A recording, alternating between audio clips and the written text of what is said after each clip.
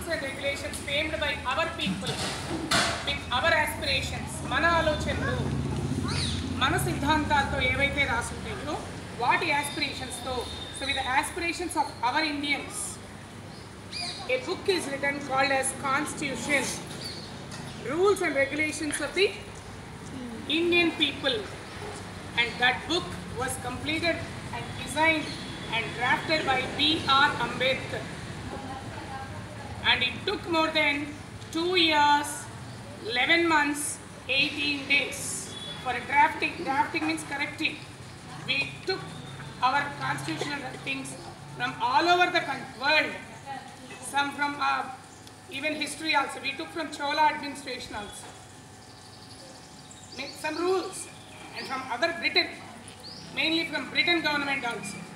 So we took, our great people went there, they studied, they compiled the constitution.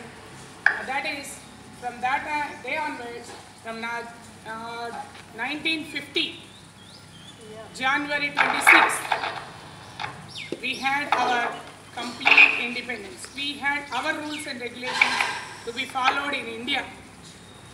Understand? We have our school diary for school, isn't it? For court, they'll have a book of rules and regulations. Like that, for every office, there'll be a book.